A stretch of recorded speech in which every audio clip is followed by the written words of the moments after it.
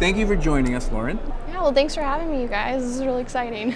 so, what we have in front of us right now is a map of California wildfires. Can you walk us through the creative process for this map and how it evolved and where it ended up? Yeah, definitely. So, this was uh, a project that I worked on for the Washington Post, and it, we decided to put this project together near the end of a really crazy California wildfire season at the end of last year. And we really wanted to show our readers just the extent of the wildfire season in California and also just the scale of this Thomas fire that was very, very destructive.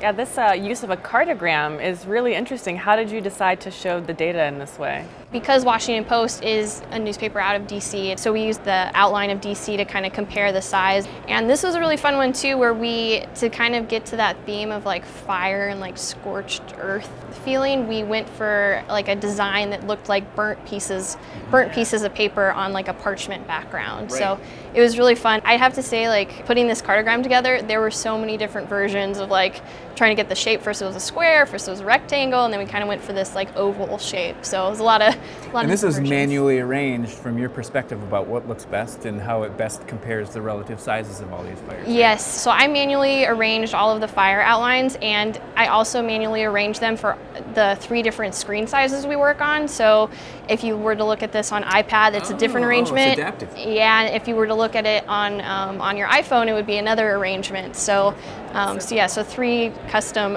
arrangements of fires for this. The actual arrangement of these same boundaries, we made this map of the full state of California, and because California is just such a long, tall shape, we could have shrunk this map down to fit on like one screen size, but we decided to just go big with it and let people kind of pan and, and explore. So this is the actual places where these fires occurred, and we um, called out the different ones that were really really destructive. So the Tubbs, Nuns, and Atlas fires um, that happened earlier in the season, and then of course the um, Thomas fire, which was closer to Santa Barbara down in the south. We included these little bar charts further down that look at the size, but also the most most destructive in terms of like structures destroyed and whatnot. Well, thank you so much for joining us and, and talking about your workflow and your process and sharing this map. Perfect. Yeah, thank yeah. you so much for having me.